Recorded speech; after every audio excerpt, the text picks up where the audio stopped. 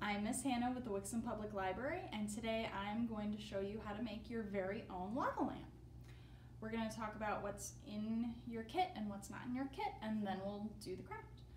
So in your bag you should have one supply list, you should have one clear plastic jar, one tiny little bottle of food coloring, and one tablet of Alka-Seltzer.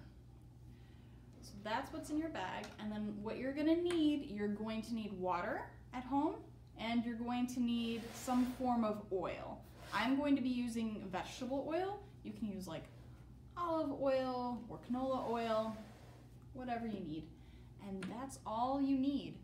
Um, if you want to further decorate your jar, you're gonna use whatever it is that you have at home, whether it be markers, glue and glitter, etc. Um, we'd love to see your creation, so tag us on social media or shoot us an email. All right, let's get started. Okay, so the first thing that you're gonna wanna do is, first off, you're gonna observe that I'm not using a jar, I'm using a cup, but that's okay. So first thing you're gonna wanna do is if you wanna decorate your jar, you're gonna wanna do it on the very, very, very bottom and the very, very, very top and that's it. Otherwise, let's start our little experiment. So you're gonna fill about a fourth of the way up your jar. You're gonna fill it with water and then you're gonna fill the rest up with your vegetable oil. You're not gonna wanna fill it to the tippy tippy top, but you're gonna wanna fill it up to about the top. I'm gonna fill it up to there. I'm gonna fill it up to there and then we're gonna watch it settle. See how the water and the oil stay separate. It's pretty cool. Pretty cool.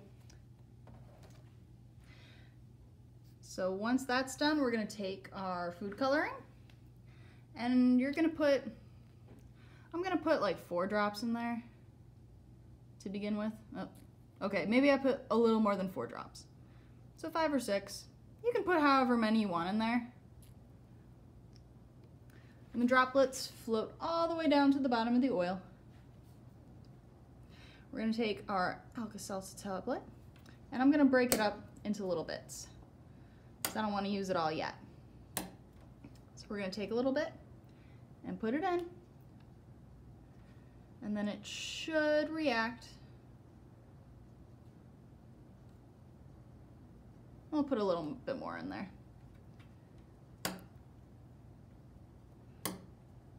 One over there, and another over here.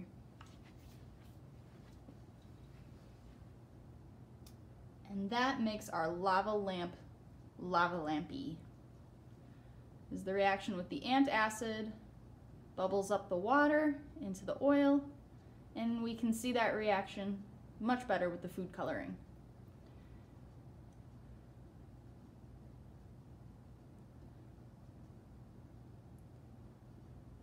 And if you want to keep the reaction going, just keep adding Alka-Seltzer tablet pieces.